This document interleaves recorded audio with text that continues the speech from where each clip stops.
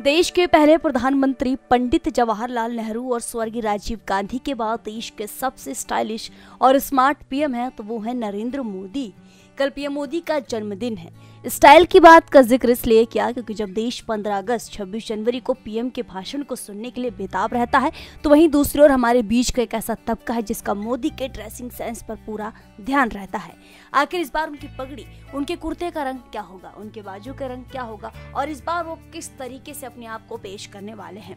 Dressing sense की बात से याद आए कि जैसे गोल गले वाला कुर्ता ट्रेंडिंग में है और उसको नेहरू गला कहते हैं, वैसी आधी बाजू का कुर्ता देश में फ़ैशन लाने वाले पीएम नरेंद्र मोदी हैं और इसके पीछे कहानी बड़ी ही दिलचस्प है। मोदी बताते हैं कि आरएसएस में शामिल होने के दौरान उन्हें कई तरीके की ट्रेनिंग करनी होती थी और कुर्ते की बाजू बड़े होने के नाते उसको धोने में बड़ी तकलीफ़ हुआ करती थी। इसलिए गुस्से में एक बार पीएम नरेंद्र मोदी ने उस बाजू को काट दिया।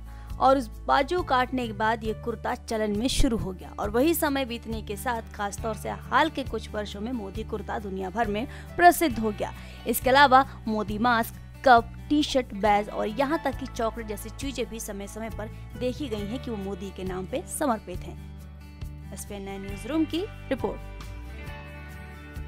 Start your career with us अगर आप भी बनना चाहते हैं एंकर और रिपोर्टर वीडियो एडिटर कैमरामैन या स्क्रिप्ट राइटर तो हमें संपर्क करें।